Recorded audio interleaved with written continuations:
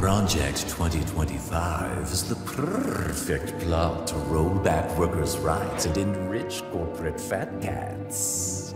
And I have brought you all here to say, You!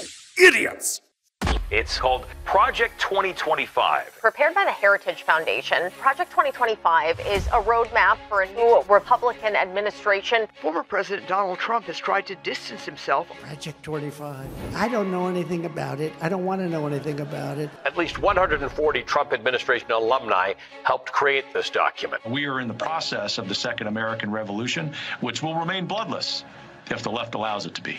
We're supposed to be lurking in the shadows, not making headlines. We hid our plan in a dense 900 page book. I thought American workers would be too stupid to read that much, let alone understand it. Well, they're smarter than they look, and they actually vote.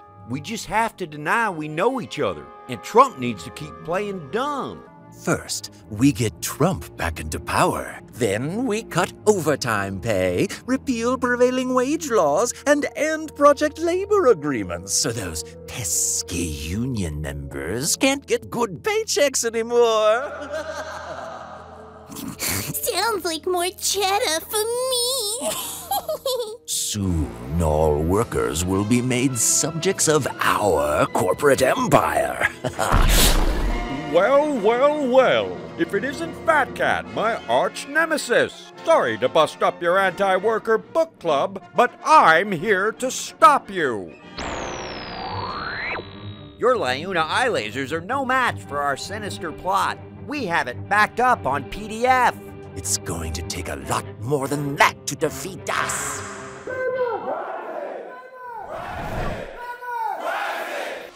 Good thing more and more laborers are signing up for Laborers Rising every day.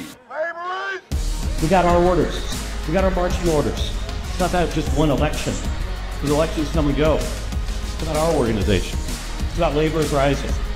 Let's go and let's go win this election.